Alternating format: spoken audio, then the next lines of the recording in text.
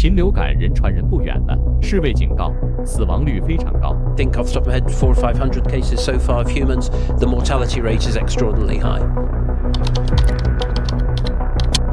越南发现首宗人类感染 H9N2 禽流感个案后，因肺部严重感染而被转入深切治疗部。世卫警告，人类感染禽流感的病例已达到令人严重。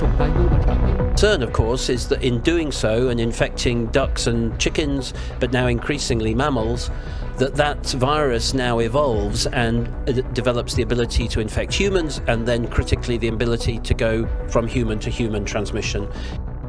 自三月份以来，美国官员已确认九个州的奶牛群中出现了禽流感病例，生牛奶更是世上首次检测出浓度极高的禽流感病毒 H5N1。 世界又要再一次被病毒折磨了吗？